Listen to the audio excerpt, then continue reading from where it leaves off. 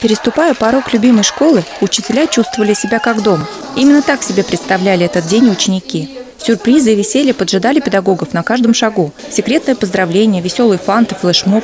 Не забыли ребята и о праздничном оформлении школы. Была замечательная идея а, уделить внимание каждому учителю. Это дверь для любимого учителя. И если вы видите, у нас каждая дверь украшена, потрясающе украшена, какая-то сказка сегодня. И все посвящено нашему профессиональному празднику. Ребята волновались.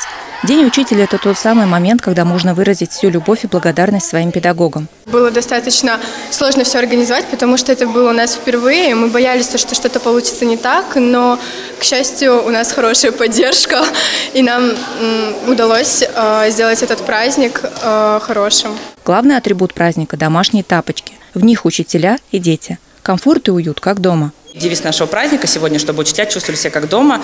А тапки – это главный атрибут домашнего уюта. Ребята надеются, что акция «Девятка в тапках» станет еще одной доброй традицией школы.